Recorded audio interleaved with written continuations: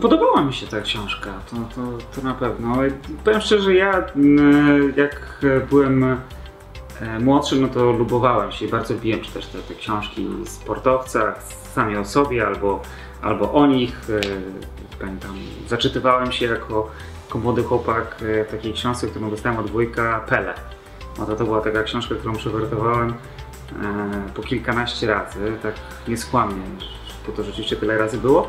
E, no a później tak przestałem. Jak już, byłem, jak już wszedłem, nawet zacząłem się interesować oczywiście i byłem przy tej piłce, to jakoś tak nie ciągnęło. Może też dlatego, że był taki wybór e, nie za duży. Moje doświadczenie w kwestii czytania e, sportowych czy też piłkarskich biografii, autobiografii nie jest zbyt duże.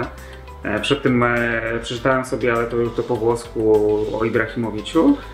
I też, też, też była niezła, też mi się podobała. No ale tam się podobała. No, ja to lubię takie klimaty, e, jak na przykład ten rozdział o, o, o, południu, gdzie, gdzie to dzieje się na południu, jest ten klimat, tak jak w książkach też Nicola Manitiego, tam niektórzy pewnie, pewnie znają, bo też jest to autor e, tłumaczony, tłumaczony na język polski.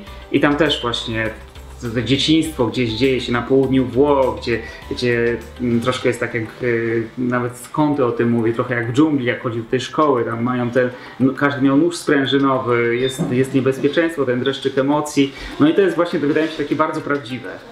E, i fajne. A mm, jeśli chodzi o samą postać Conte, no to e, podobało mi się, no, że on jest taki prawdziwy. To nie jest taki gość, taki, e, e, taki Bóg, któremu wszystko zostało podarowane, który został e, pocałowany przez e, jakiegoś czarodzieja, urodził się z wielkim talentem do piłki i szło mu, wszystko miał z górki. Nie, u niego właśnie jest to takie sinusoidalne, raz w górę, e, raz w dół. I to myślę, że to jest taki gość, o którym każdy z nas może powiedzieć, e, że to jest jeden z nas, że, że każdy może rzeczywiście coś takiego przeżyć, tylko trzeba być mocnym. I ja myślę, że to jest fantastyczne przesłanie dla, dla młodych. Dla, gdybym ja miał teraz 12-13 lat, i, i grał w piłkę, no to myślę, że taka, taka książka Conte to gdzieś tam by leżała zawsze w pobliżu i w takich trudniejszych, e, trudniejszych momentach to chętnie bym do niej wracał.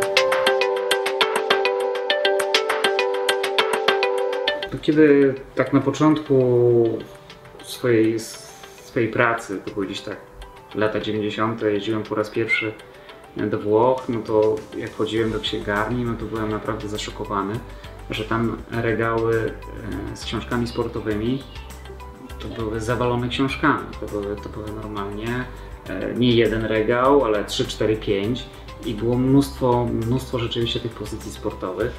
W Polsce jak chodziłem do Empiku czy do jakiejś innej większej, większej księgarni, e, no to patrzyłem, to jakaś uboga oferta, jakaś jedna półeczka, nie wiem, encyklopedia Fuji, coś tam, jakieś ABC młodego piłkarza, talagi, takie pozycje były. Zatem rzeczywiście nie było w czym wybierać. No i teraz od paru lat, ale myślę, że od niewielu lat, nagle nastąpił jakiś boom. No ja myślę, że po części stało się to no, też dzięki takim inicjatywom, że, że rzeczywiście udało się wejść w takie, w takie puste miejsce. No i to jest fantastyczne, no bo te wydawnictwa rzeczywiście być może, ja tam dokładnie nie znam tego rynku, być może także dzięki kibicom, dzięki tym stronom internetowym, które, które naprawdę fajnie działają. Ja jestem pod ogromnym wrażeniem, jak te strony są prowadzone i Juventusu, i Interu, Milanu, Romy, no to już nie mówię o tych e, innych klubów spoza, spoza Włoch. To jest pełen, pełna profeska, naprawdę to ja byłem zszokowany. Ja tak rzeczywiście zacząłem temu się bliżej przyglądać. No i być może właśnie taka inicjatywa spowodowała, że te wydawnictwa e, też uznały, że warto w to zainwestować. E, I myślę, że teraz z kolei jest nadmiar. Teraz tak jak patrzę, no to rzeczywiście nawet nie co miesiąc, ale co tydzień widzę jakąś nową pozycję. No to jest coś nieprawdopodobnego. Coś wokół tego sportu się dzieje. E, Stale są i te, i te książki naprawdę się sprzedają, nie tylko piłkarskie. Przecież myślę, że jednym z hitów była pozycja Gaciego tutaj w Polsce. E, Ibrahimowicz myślę, że też się bardzo dobrze sprzedawał. No i mam nadzieję, że, że Conte del Piero e, i następne pozycje to też. Także ta, ta, taka inicjatywa mi się bardzo, bardzo podoba, bo myślę, że to było e, wstrzelenie się w taką lukę i to było coś, co, co jest potrzebne i co, co, co, co się dobrze sprzedaje.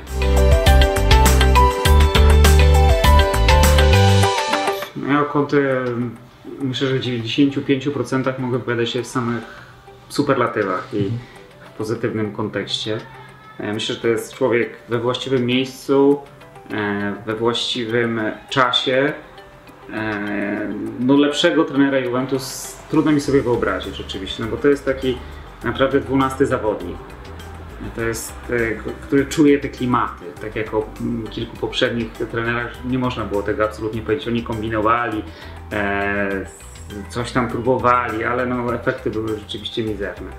Conte mi się podoba. Ja gdybym był piłkarzem, chciałbym mieć takiego trenera. Tak jak niedawno przeczytałem taką, oczywiście tą ankietę, ta E, ta, ta, ta spowiedź piłkarzy, no to ja bym tam też się umieścił wśród, nie wiem, było 30, 30, ponad 30% piłkarzy, którzy chcieliby pracować właśnie z Antonio Conte.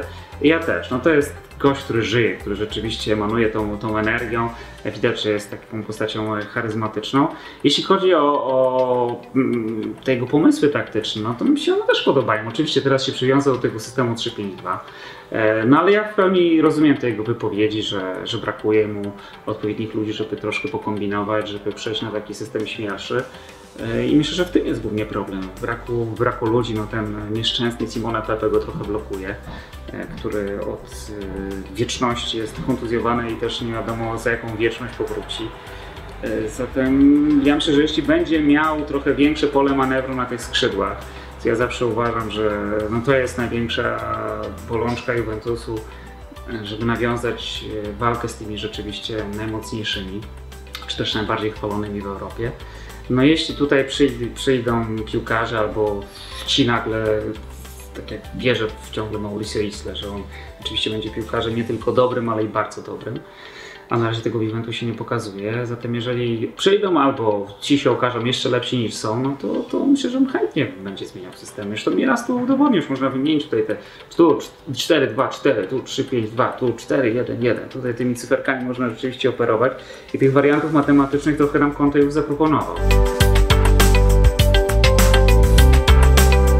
Na pewno to nie jest Juventus słabszy niż Juventus Capello, co do tego jestem pewien. E, nie ma oczywiście Ibrahimowicza, no ale wtedy też Ibrahimowicz nie był aż tak dobry jak teraz. E, myślę, że tak porównując, e, oczywiście nie konkretnie pozycjami, ale ja bym Ibrahimowicza z tamtego, z tamtego okresu, okresu Capello postawił pod względem umiejętności, klasy z dzisiejszym Pogbą. No to jest podobny wymiar piłkarza, no to, jest, to są po prostu no, piłkar, tacy piłkarscy geniusze. No Juventus ma kilku takich piłkarzy, no, jest widać, ciągle Pirlo. E, no brakuje, są też jeszcze luki do wypełnienia, ale naprawdę obecny Juventus jest, e, jest podobny do tamtego. To jest już Juventus, który, e, który będzie co sezon skazany na walkę o mistrzostwo. No i tylko trzeba poczekać, czy to, sam, czy to wystarczy na to, żeby również coś zwojować w Lidze Mistrzów. Nie no, zaglądam, zaglądam, no ale skłamałbym, bym powiedział, że to jest moje główne źródło. E, jeśli oczywiście, no, wiadomo, że jeśli mecz Juventusu, no to, to zaglądam. E, staram się e, też no, przynajmniej raz w tygodniu zajrzeć na stronę Juve Poland. E, no i zawsze tam coś dla siebie ciekawego odnajdę. E, w sensie właśnie jakieś komentarze pod moimi tekstami. Raz mnie zastrzeliło totalnie kiedy się poczułem, jakbym e, dostał e, list, no niemalże od urzędu skarbowego z jakąś taką poważną że wzywam pana, wzywam, wzywam pana, albo nie, tam było wzywamy pana do odpowiedzi. Tam to była ta afera z tym z Antonio Conte. Nie no, to było śmieszne. No.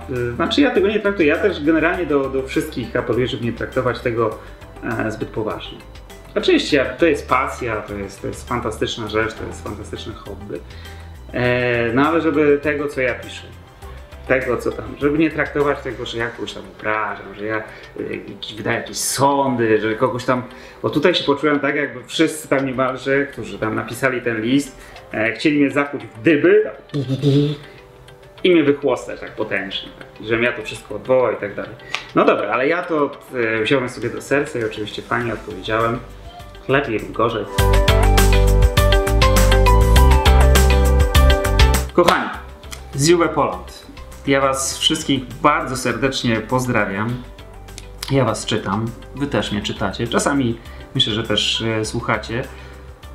E, ja bardzo Wam dziękuję za wszystkie pozytywne rzeczy, które o mnie mówicie, piszecie oficjalnie, może także nieoficjalnie. No i dziękuję również za krytyczne uwagi.